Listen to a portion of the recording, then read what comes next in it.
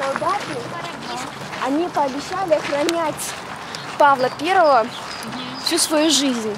Они превратились в оловянных солдатиков и теперь охраняют замок и призрак Павла Первого. Ух ты. И ты их видела? Да, да. Там скульптуры, там рельеф или что там? Нет, там просто маленькие игрушки. Ага. Да, настоящие, такие старинные. А, это вот фриз, который на... Я как раз обещала вам показать. Вот как раз атик. Ага. Это там, там где треугольничек. Да, да, да, да, да. И вот это как отдельный этаж, называют атик. Есть портик, а есть атик. Вот. А выступающая часть, которая делит здание, называется мезонит. Вот. А фриз, который э, он взят из, э, с э, Исаакиевского собора, а также надпись золотыми буквами. А почему сняли? А, так вот, потому что хотели быстрее закончить строительство. Ведь Павел уже был как бы не молод в то время. Он 40 лет ждал, чтобы взойти на престол. Четыре года строили. Четыре месяца он прожил. Кстати, еще интересный э, факт и легенда, что Павел проживет столько лет, сколько букв в этой фразе. В этой фразе 44 буквы. Павел I умер в возрасте 44 лет. Кошмар. Вот. Я думаю, что это апокриф. Не знаю, не знаю. Шаг прибавляем, шаг чуть-чуть. Да. Я могу дальше побежать. Не, бежать не Вот надо. караванная сейчас скоро будет. Это Чихуахуа. А вот это что? Вот Так, это а, при- вообще Михайловский замок а, представлял собой комплекс. Вот это, например, а, здание, где жили фрейлины, а также а, полк Павла Первого. А это манеж. Вот. Данный момент здесь а, располагается спортивный комплекс. А сейчас мы будем подходить уже к барокко. Это Елизавета Петровна. Ведь раньше а, на месте Михайловского замка располагался летний дворец Елизаветы Петровны.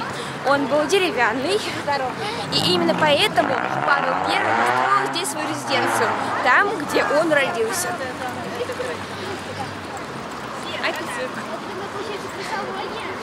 Сегодня скатили. Вот про цирк у нас Ну, такой, да. Какие у вас истории про цирк?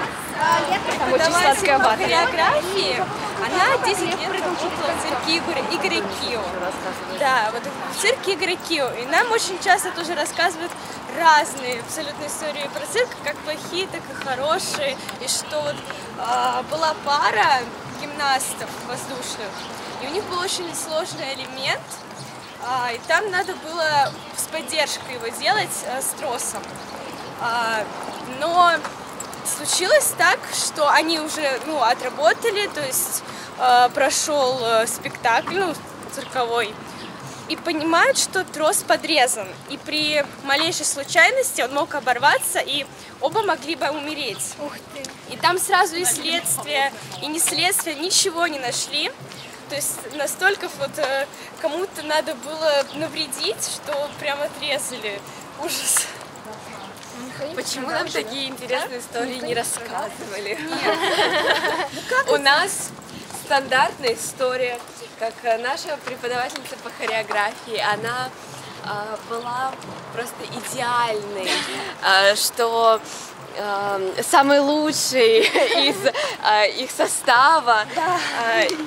И была у них э, такая девушка замечательная, которая со временем начала толстеть. Я про масло с хлебом рассказываю. А про масло с хлебом. И наша преподавательница приходит э, к этой девушке домой, эм, и та ей открывает дверь с куском хлеба с маслом. Же проверяли и взвешивали каждый Да, это день. же и ужасно. На грамм протолстеешь, все ужас. Все, это ты худей там две недели, пока не похудеешь, не придешь. Потому что страховка, ой, ну, страховка, да, это же такое дело. Не выдержит тебя и партнер тоже. И нам красиво много народу. Вау! Какой фонтанчик. Фонтан начал работать. А вот в этом здании угловом э, размещается музей а, «Русский левша». Это новосибирский а, мастер, который подковал блоху. И там а, самые маленькие вещи. Там, например, а, надпись на кусочке или на маковом зернышке. А это скорее всего.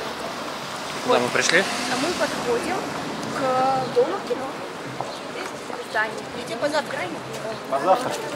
Завтра Северный модерн. Вот. Я не знаю.